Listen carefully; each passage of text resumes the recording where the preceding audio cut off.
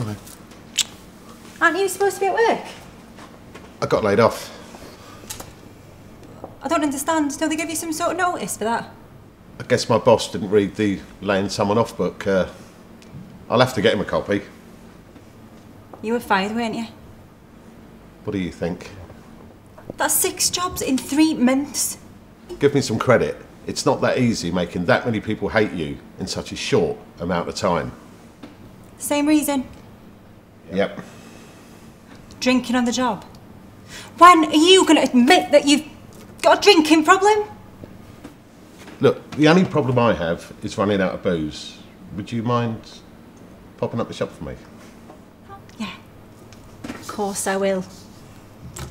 Oh, but I forgot. I haven't got any money because someone can't keep a job. That's a nasty rumour. Don't believe that. You know, I can't do this anymore. Witty repartee, not enough. No,